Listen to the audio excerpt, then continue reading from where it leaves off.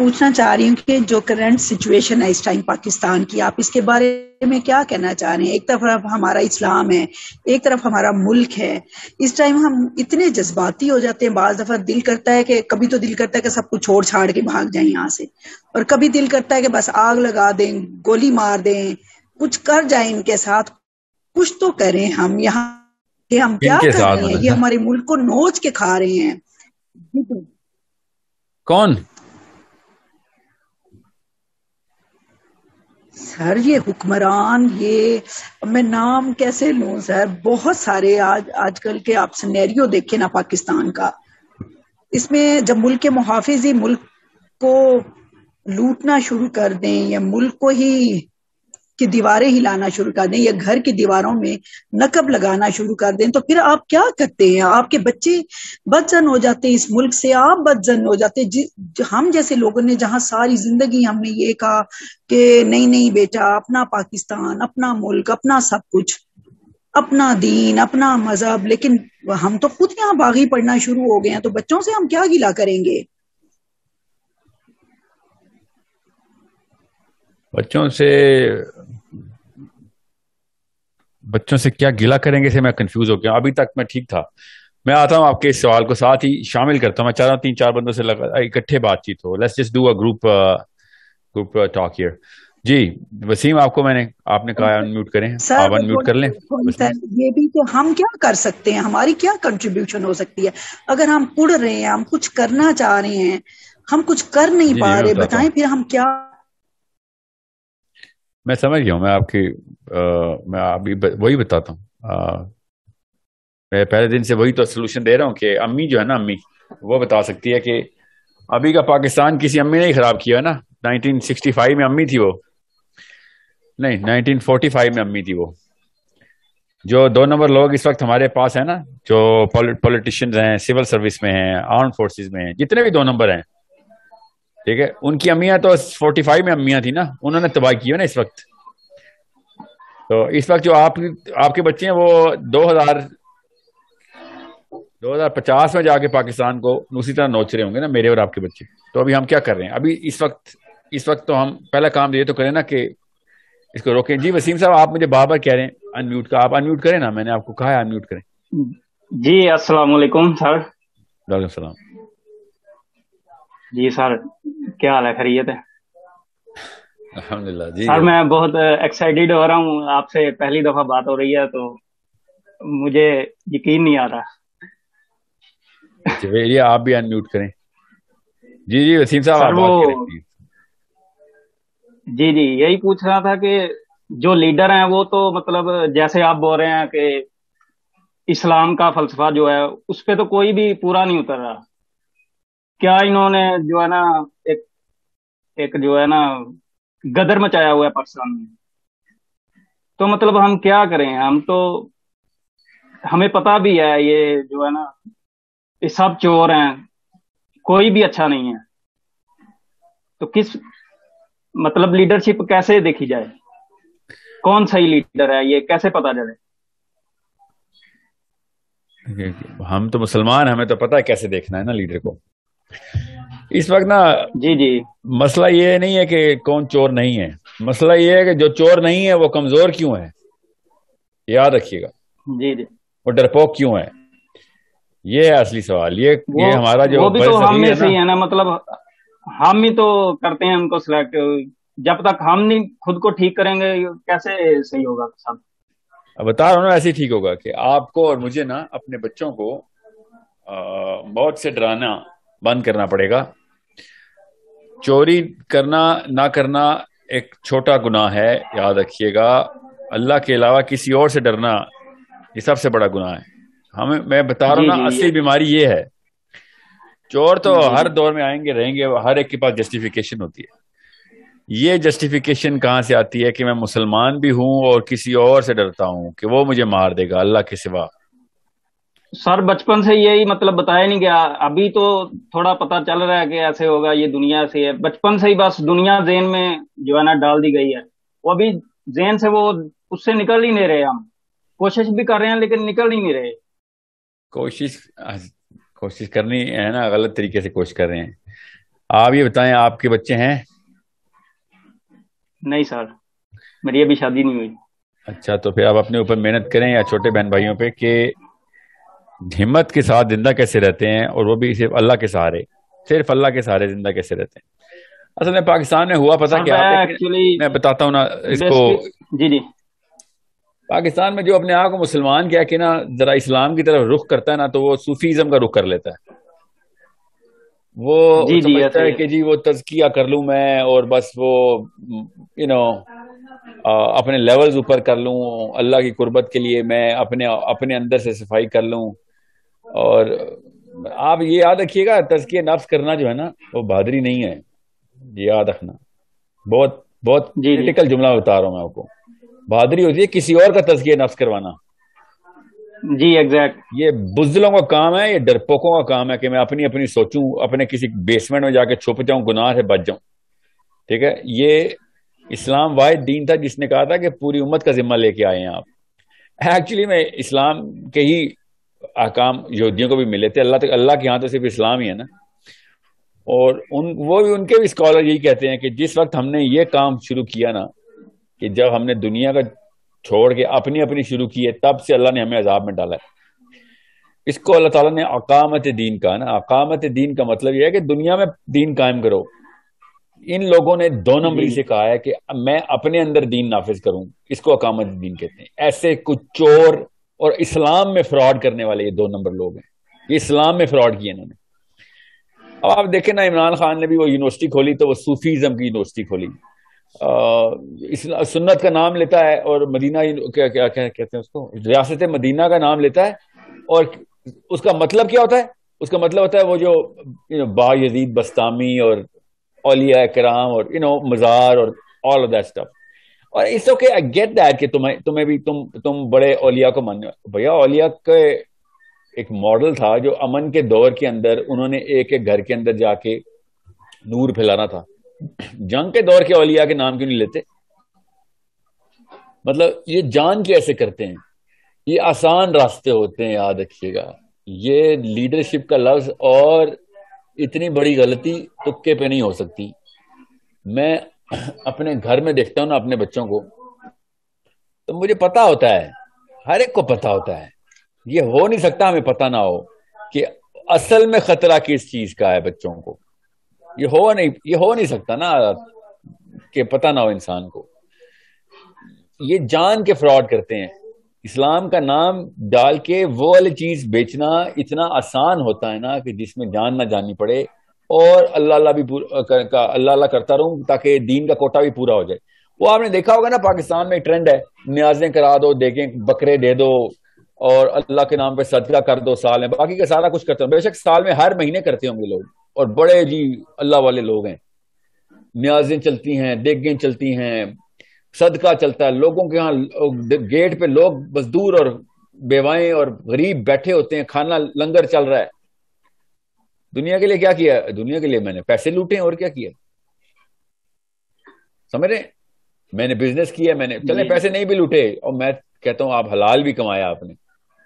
अपने लिए कमाया ना। और हर पाकिस्तानी औरत स्पेशली औरतों से मेरा गिला है। क्योंकि असल में औरतों ने दो नंबरी की अपने बच्चों को सही बात नहीं बताती। और दो मुझे गिला क्यों है? इन्होंने खुद किताबें नहीं पढ़ी हुई। बच्चे इनकी गोद में पल रहे होते हैं।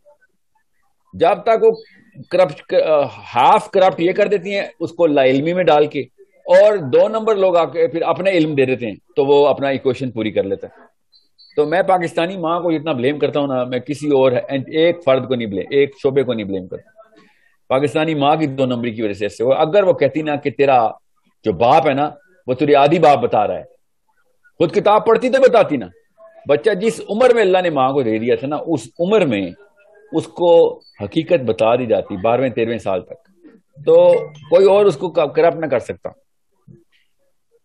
मगर नहीं, अब मैं कोई ये ना सोचे कि पाकिस्तानी बाप को ब्लेम नहीं करता। ज़ाहिर है, लीडरशिप तो बाप के पास ही है ना। असल में तो दोजख में वो सड़ेगा।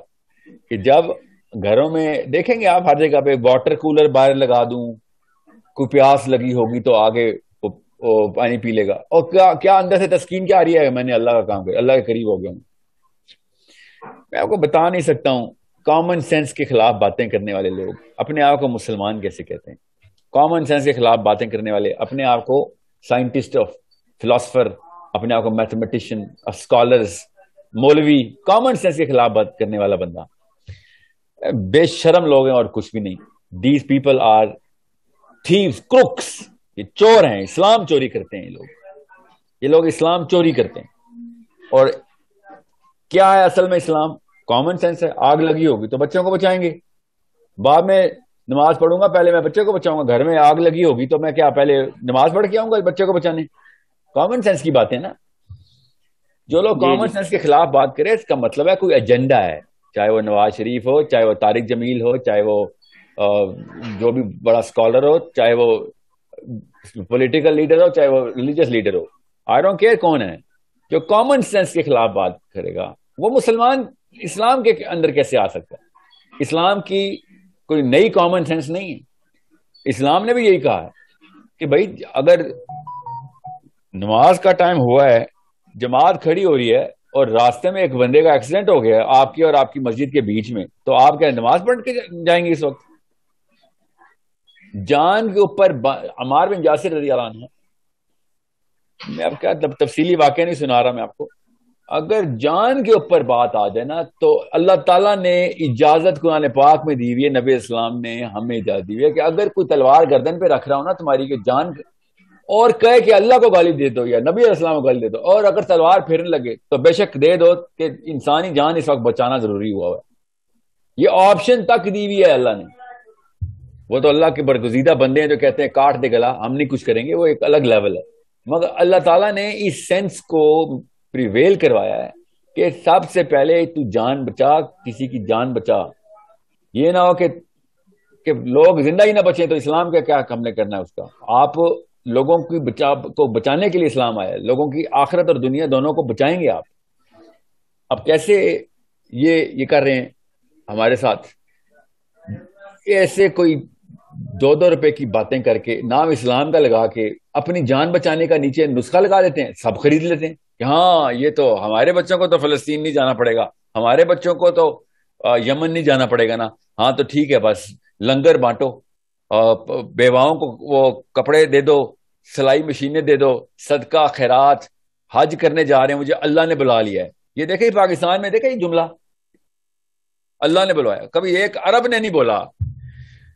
पाकिस्तान में हर बंदा कहता अल्लाह ने मुझे अपने घर बुला लिया है, अल्लाह ने मुझे अपने घर बुला लिया आप कभी सोचें ये ये दो नंबर पाकिस्तानी इंडियंस अल्लाह ने मुझे घर बुला लिया हैया अला सलाह की आवाज़ पाँच दफ़ा आती है, अल्लाह इन्हीं अल्फाज के थ्रू बुला रहा है रोज, तब नहीं गए कभी। उधर बगैर किसी आवाज़ के तुम्हें अल्लाह ने घर बुला लिया।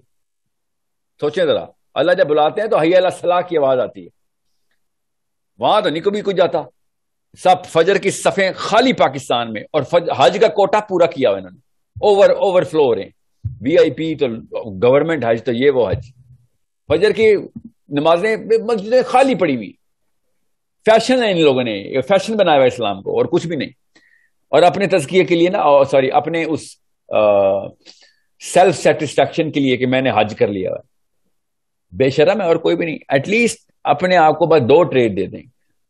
सच बोलना शुरू कर दें अपने आप से। लोगों से बेशक झूठ बोले, मेरे कहने से कहाँ रुकना है आपने? लोगों से झूठ बोले कि आप बहुत बड़े मोह अपने आप से सच बोलना शुरू कर दें बस।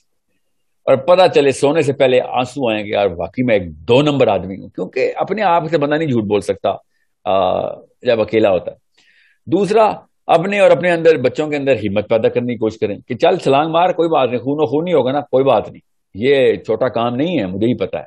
कर रहा हूँ मैं अपने बच्चों के साथ। मैं आपको बताऊँगा किस दिन क्या करना पड़ता है? एक बाप के तरफ़ से मुझे सोचना आता है, मेरे तो अपने बच्चे हैं, जब उनको मैं धक्का देता हूँ ना कि बेटा ऐसे नहीं बड़े होना, चले शाबाश।